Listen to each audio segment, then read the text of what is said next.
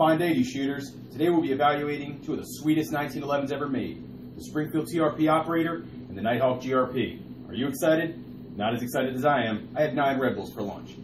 We'll start with the TRP.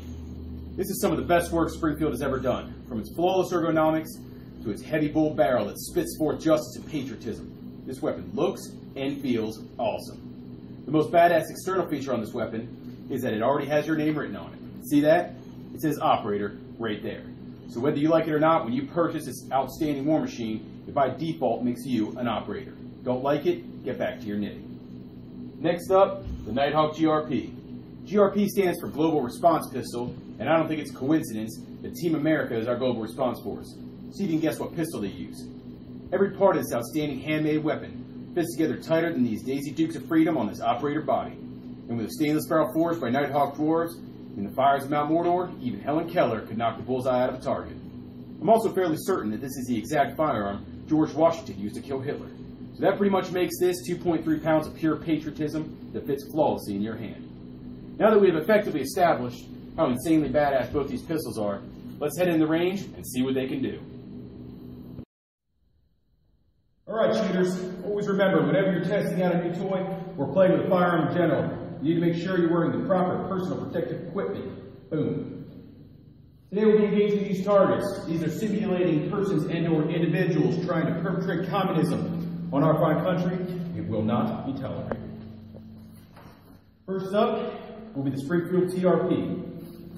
I'll be firing this weapon not looking at the target because that's the kind of gun it is.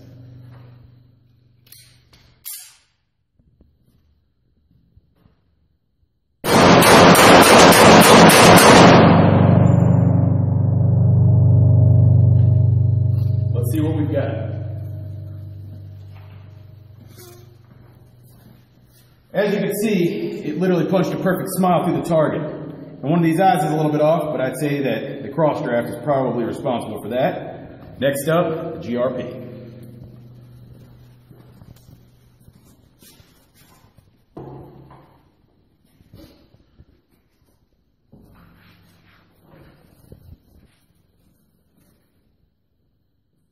Now, because the GRP is in a level all of its own, I will be firing this weapon blindfolded.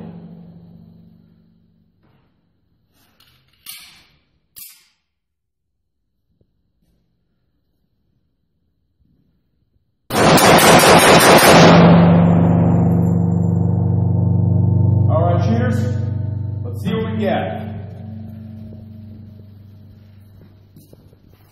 Look at that. This weapon literally spews pure patriotism.